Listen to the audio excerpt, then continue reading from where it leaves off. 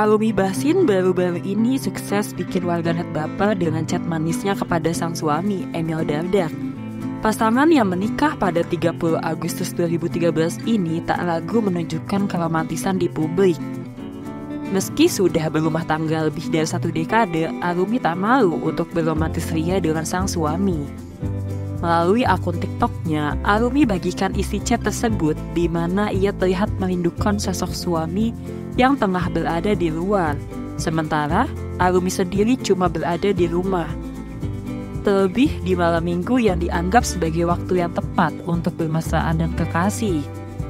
Sontak, melihat pesan sang istri yang demikian merasakan kesepian sekaligus kerinduan, Emil Dardak pun langsung membalas pesan Arumi. Unggahannya pun ramai dibincangkan warganet, tak sedikit yang merasa baper dengan isi pesan suami istri ini. Meski sudah hampir 11 tahun menikah, keduanya tetap terlihat begitu romantis.